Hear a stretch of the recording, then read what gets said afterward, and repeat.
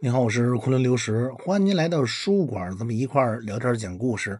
今天咱们要讲的故事啊，是这个大清朝在雍正年间雪域高原承上启下的故事。这雍正皇帝呢，平定了罗伯当丹津的叛乱以后，这雪域高原上的故事啊，就逐渐的向北向西偏转了。雍正皇帝在西北的心思全用在了准噶尔汗国身上。随着这个西宁办事大臣的设立，以及啊驻藏。办事大臣的设立，这青海、西藏的局势趋于稳定。那如果说我们把这故事啊拉到北方，往。北讲和咱们这个专辑的内容啊，哎，它就有出入了。咱们讲的是雪域高原，讲的是雪域佛国，哎，主要还得贴上啊这藏传佛教和雪域高原的事儿。就在一七三一年，那年是雍正九年，这大将军富尔丹在这个托克托岭啊和这个河通铺打了一场败仗。这场败仗是和谁打的呀？就是准噶尔汗国。当时啊，准噶尔汗国的大汗已经换人了，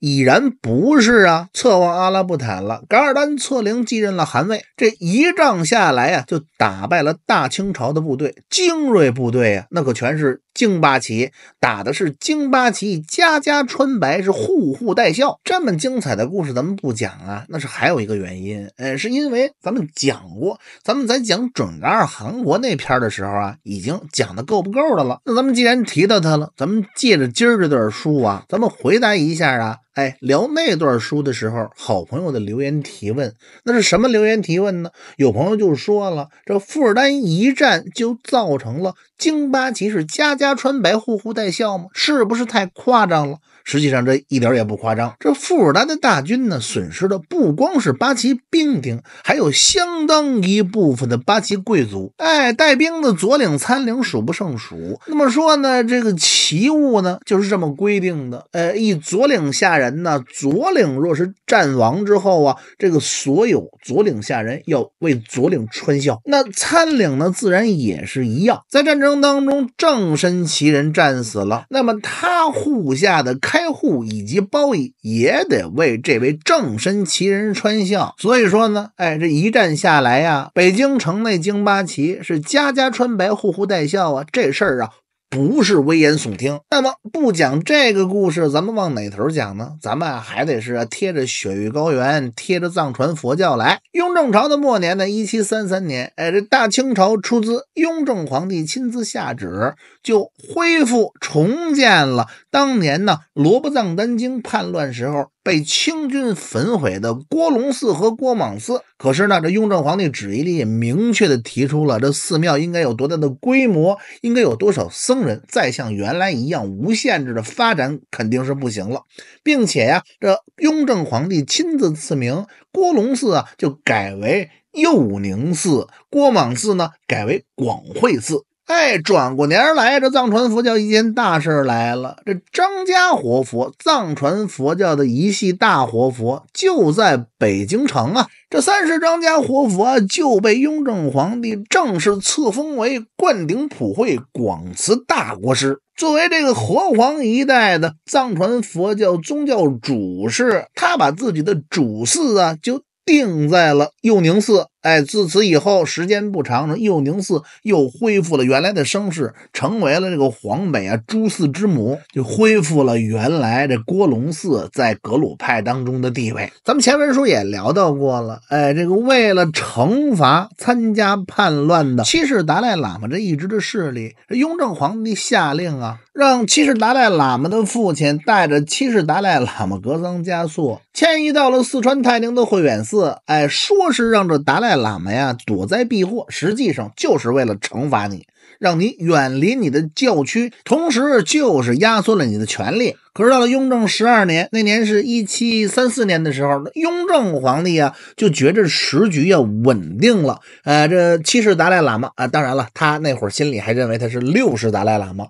七世达赖喇嘛呀，哎，这个行为上边呢也非常的检点。于是雍正皇帝就动了恻隐之心，让自己的十七弟和硕果亲王允礼和这个三世张家活佛呼图克图若比多杰，让这二位。哎呀，出趟公差，上这个哪儿呢？上四川泰宁的慧远寺去一趟。临行之时啊，这皇上亲自交代自己这十七兄弟，说到那儿啊，一定要观察这达赖喇嘛本人呢是否安分守己，对正宫我流放他这事儿啊有没有什么怨言，还得看看呢他们这个集团内部其他的人呢和势力有没有怨言，有没有乱说乱动，还有没有和其他的政治势力有所勾结。如果这些都没有的话，可以让他们呀返回拉萨。但是呢，这件事情还没实施了呢。哎，这雍正皇帝转过年来八月份驾崩了。最后，乾隆皇帝一道谕旨，的和硕果亲王一道王令，命都统福寿啊和这个三世张家活佛一同护送格桑嘉措，也就是这位七世达赖喇嘛返藏。可是明旨明发上边就有一条写的清楚，说这个达赖喇嘛的父亲索南达杰，你呀是个政治上有污点、犯过政治错误的人，所以为了惩罚，也是啊防止你以后再犯同样的错误，你每年呢只可以探望。达赖喇嘛一次，你们爷儿俩呀一块住啊，不能超过一个月。那这么一来呢，这爷儿俩虽然都回了拉萨，哎，这达赖喇嘛呀就去了布达拉宫，哎，这达赖喇嘛的父亲索南达杰呢，只能移住桑耶寺。这点呢，您倒是不用替他们担心，因为除了不见面以外，生活呀，那肯定是一等一，绝不会有人苛刻他们。那吃的肯定是油，穿的肯定是绸。咱们也知道啊，这乾隆年呢，乾隆皇帝刚一登基的时候啊，说实话，这国也不太是，民也不安。西北呢，准噶尔汗国呀，蠢蠢欲动；西南呢，哎，这云贵苗乱。总之，乾隆初年呢，这乾隆皇帝对这个大西北、大西南呢。是挺头疼的。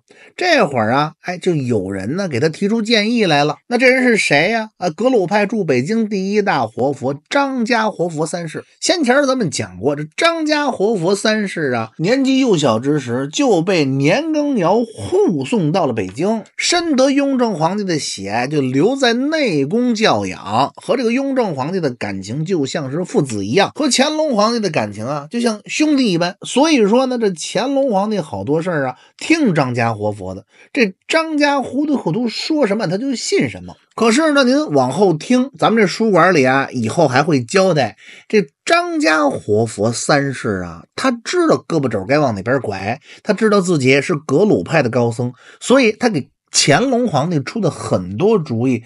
都是偏向格鲁派的。他跟这个乾隆皇帝说呀：“他说这个四川、云南管辖的康区呀，应该划归西藏。自从这中央政府、大清朝廷接管了这一地区的税收财政以后啊，这达赖喇嘛呀，这班禅额尔德尼的收入是大大不如前，西藏的宗教生活呀很窘迫。”那么实际上到底是不是这样呢？啊，那肯定不是啊！咱们前边不是交代过吗？这藏区啊，一共就十三万户，哎，这格鲁派就掌握了十二万。八千多户，其中啊，这达赖喇嘛管了这个十二万一千四百三十八户，班禅额尔德尼呢管了是六千七百五十二户。那这是什么意思呢？这西藏啊，九成九的钱都在格鲁派这两家活佛的掌控之中。哎，可是这个张家活佛跟乾隆皇帝这么一叨弄啊，哎。这乾隆皇帝还就真信了，他就真心活了。乾隆啊，真就决定啊，把这四川以及云南管辖的康区呀归还给西藏地方的噶伦。这一下子可把这川陕总督给吓坏了。这边的川陕总督现在是谁呀？现在正是扎朗阿任川陕总督，赶紧向皇帝启奏说：“皇上这么着可不行，这康区啊，那可是我大清朝进藏的咽喉要道。”那有人说，那从青海进藏不行吗？那您可别忘了，在青海的后脊梁上可就是准噶尔汗国。为什么要保证四川这条线进藏道路的畅通呢？就是因为以后一旦和准噶尔汗国发生战事，这是一条补给的生命之线。这一句话才算点醒了梦中人。这乾隆皇帝呀，一拍脑门，对呀，这条线呢，绝对得攥在自己手里。于是这乾隆皇帝才提出调查一下啊，这格鲁派这达赖与。班禅啊，到底有多少财产？这才有了刚才咱们说的那些数字。经理藩院奏报给了乾隆皇帝，乾隆皇帝心里说：“哎呀，张家呀，张家，你真是胳膊肘知道往你们家里拐呀！真要是把这康区税收啊再归了这个达赖班禅，到时候你这里边肯定不白干呢。从这教廷啊，肯定往你这一支一派上啊也会拨很多的供养。那谁让这哥俩关系好呢？这张家活佛既然提出来了，乾隆皇帝也不好什么举措也不做，于是他对这个张家活说呀：干脆这么着吧。”打建卢厅那儿的税收啊，就都补贴给卫藏地区吧。哎，就在这一期间呢，这西藏还有一件大事什么大事呢？罗桑一期贝桑木，也就是五世班禅额尔德尼圆寂了。那年是哪年呢？是一七三七年啊。当然了，这个依照这个班禅大师的转世仪轨，很很快呢就选出了五世班禅的转世灵童，就是来自后藏地区的五世班禅灵童罗桑华丹。